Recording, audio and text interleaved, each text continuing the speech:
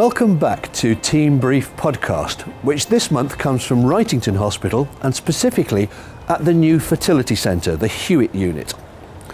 Now, I'm going to be meeting the lead for the service, Phil Harris, and he's going to be explaining it to me. And at the end, I'll have the usual three quiz questions. Firstly, how many patients have been here since the unit opened? Secondly, what's the name of the machine that tests for male fertility? And thirdly, what's behind the name of the pop group 10cc? December was a good month for our main measures of quality. If I start with mortality, the most recent figure we have is for October last year, which was a very good 92.8, taking our total for the year to date to 91.4, significantly below the NHS average.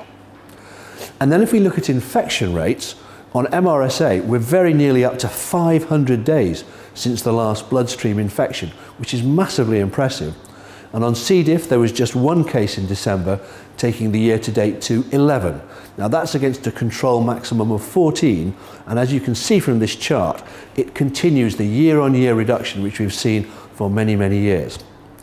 So the total number of harms then, if we take that one serious infection, there was unfortunately one never event, two serious falls, and one case of ventilator-acquired pneumonia. So that gives us five harms for the month, which is a respectable figure. And finally, if I move on to the caring measures, the monthly inpatient survey, which is conducted by volunteers, December was the best month we have ever had. And you can see in this chart here, the right-hand column, almost everyone is green, and the average positive score is over 95%. So well done to everybody that's got these measures of quality going so well in the organisation. The picture on the Trust's performance is a bit more mixed. One of the main measures, of course, is A&E, and you can see from this chart here that we remain one of the best performing departments, certainly in the whole of Greater Manchester, and indeed in the whole of the country. But in December we missed the 95% target, and we are continuing to struggle as we get into January. Almost all of our other major targets, though, have been achieved, and we're particularly outstanding for our performance on cancer waiting times. And now finance, which is the one area where the Trust is really challenged. And at the three quarter way stage of the year, we've got a £4.6 million deficit. Now, a little bit of that is through income loss, through things like theatres being out of work, but most of it is because of excess expenditure, and most of that is the amount of money that we're spending on temporary staff nearly 15 million pounds a year where we simply can't recruit substantive staff.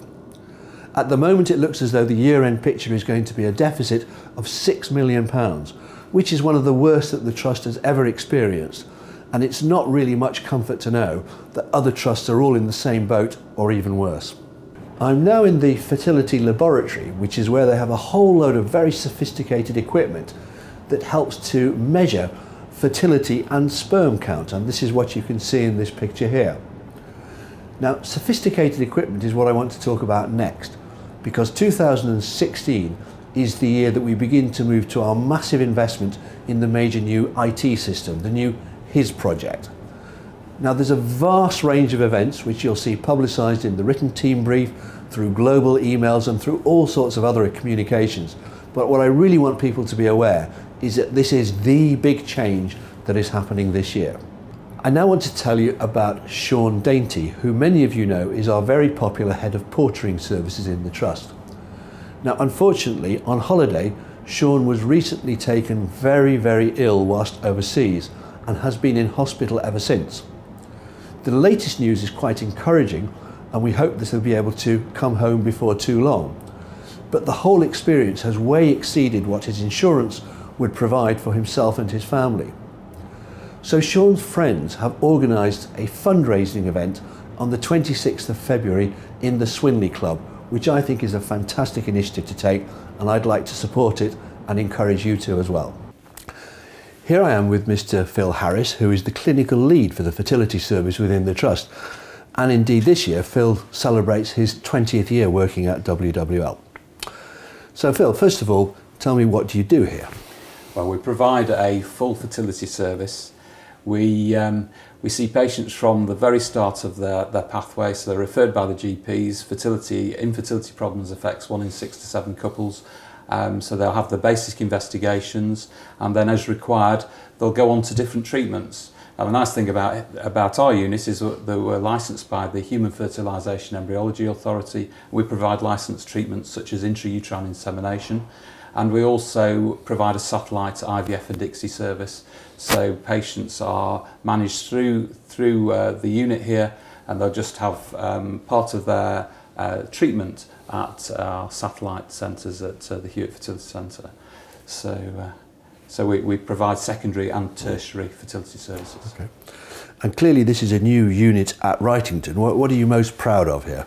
Well, apart from being the first gynaecologist at Wrightington, um, we have a beautiful facility for NHS and private patients, um, and they're getting top class accommodation, beautiful surroundings, and uh, I've got a fabulous team to look after them. So, what are the main problems and pressures that you face? I think the biggest problem that we face at the moment is the postcode lottery. So, the, the CCGs all have very, very differing um, uh, funding um, funding requirements mm. and uh, it makes life very very difficult. Okay. So now my three quiz questions. First of all, um, since the unit opened, how many patients have come through the doors? We've had uh, about 1,200 new patients, uh, which attracts an awful lot of work from outside of the area. Mm. Mm, very good. And secondly, um, you have a machine here which effectively analyses male fertility. What's that called? Well, you think it destroys them, but it's actually called the sperminator. and then on the same theme, um, I believe that you can help me with why the band 10cc was given that name. Well, it was a, a male macho thing. They thought that 9 cc's was uh, normal sperm volume, um, so they thought they'd go one extra. don't say you don't learn anything on Team Brief. Thank you.